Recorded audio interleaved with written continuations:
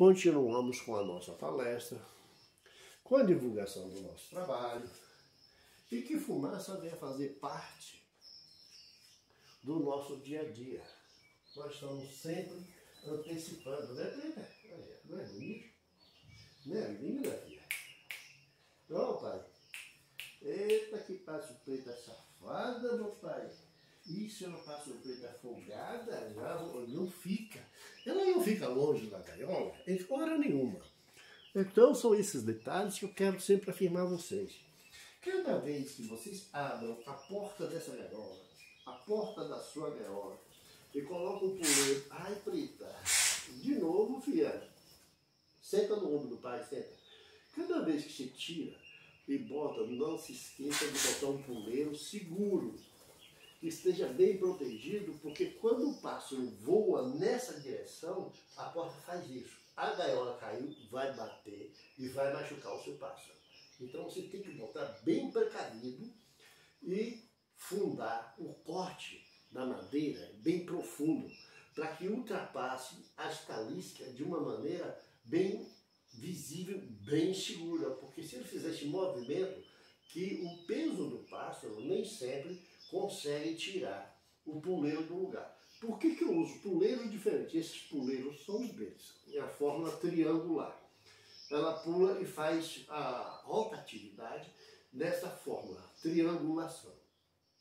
Gosto de botar o do meio sempre mais alto, mas como esta semana eu dei um vacilo, coloquei ali a gaiola no gancho, e a interrogação, essa ponta aqui, pegou aqui na, na, no, no, arco certinho e ela ficou sobre essa direção.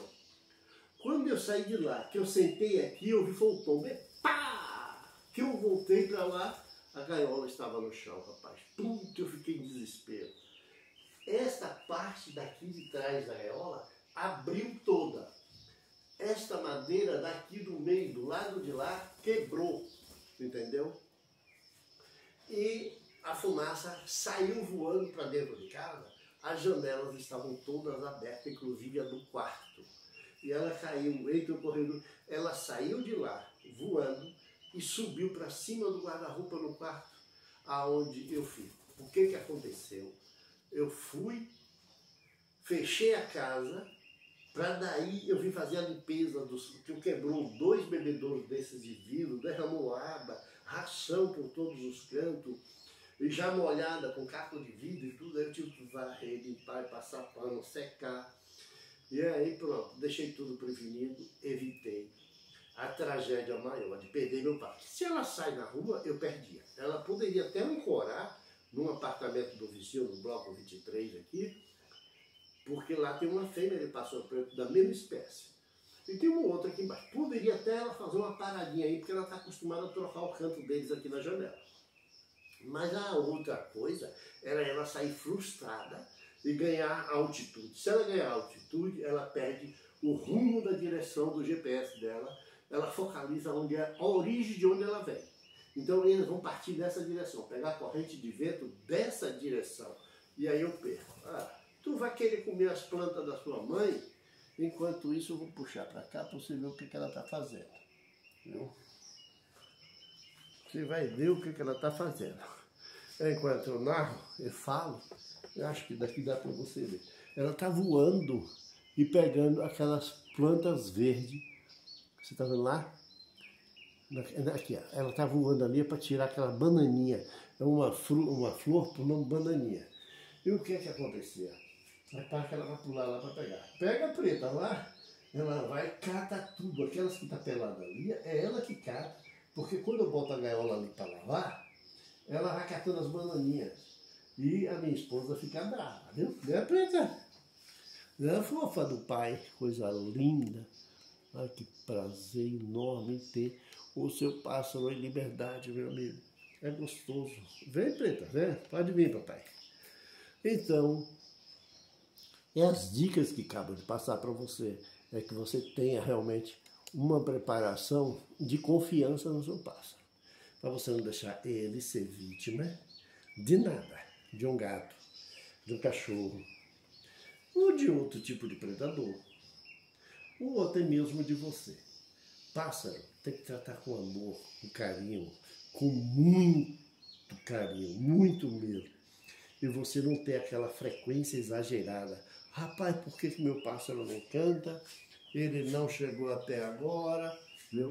O que está acontecendo? Aí, já me deu um like. E aí tem que ser assim. Eu, como estou acostumado, ela me dá o like dela. Mas, paciência, né, filha? O papai ama essa bichinha. Eu sou louco pelos meus animais. Faço tudo e qualquer coisa por ele. Custe o que custar, meu irmão. Preço para mim, investir num animal desse, para mim, não significa nada. Valores financeiros, nada. O, sim, o valor, estimação. O gosto, o prazer, a dedicação, isso vale, para mim, fica caro. É muito caro. Eu amo esses pássaros, meu amigo. Sou louco por eles. Não esqueça de compartilhar os vídeos, de dar o like, assinar o canal e habilitar o sino. Quando você habilita o sino, você está colaborando com o canal para que o canal te mande os vídeos todos os dias que sobem pelo canal.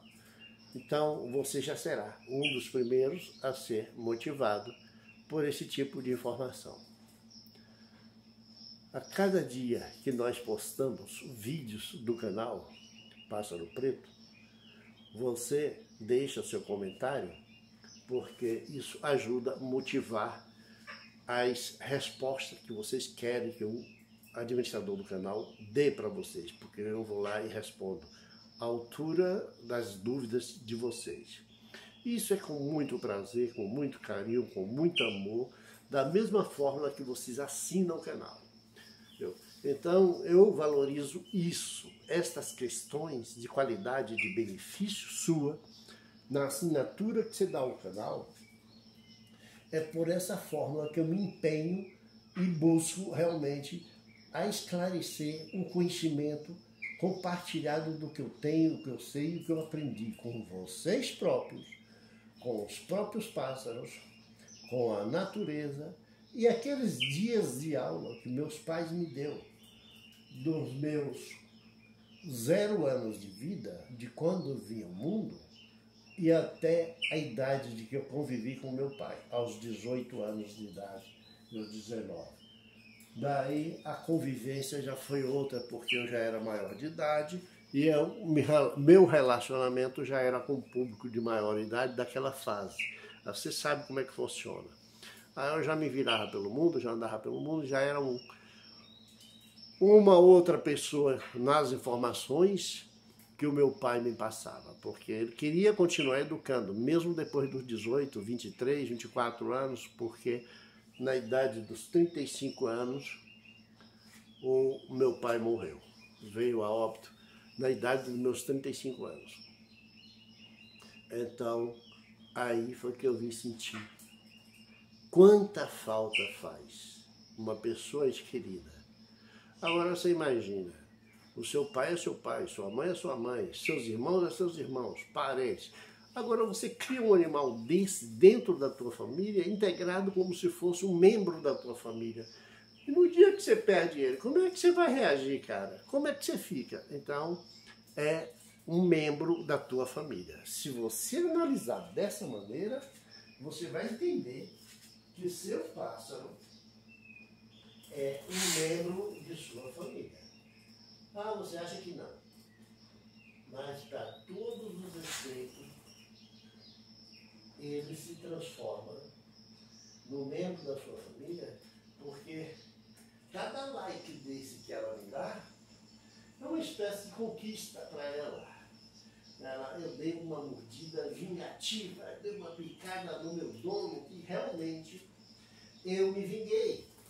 Aí, aí ela veio dar o like dela. Então eu vou reagir, não tem como, meu amigo. Eu vou aceitar com naturalidade, com todo carinho e amor que ela tem para nos dar, para nos oferecer. É neste momento que eu aproveito. É isso. A cada like que ela me dá, eu fico mais feliz.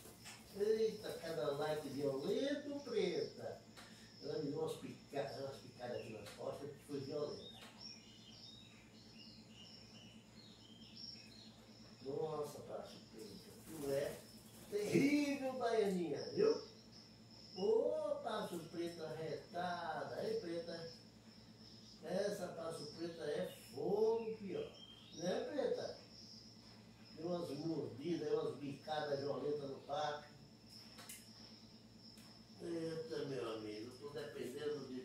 assinante aí no canal. Por que, que você assinou, cara?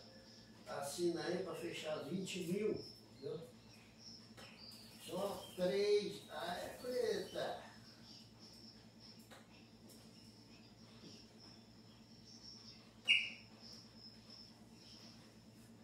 Não, massa.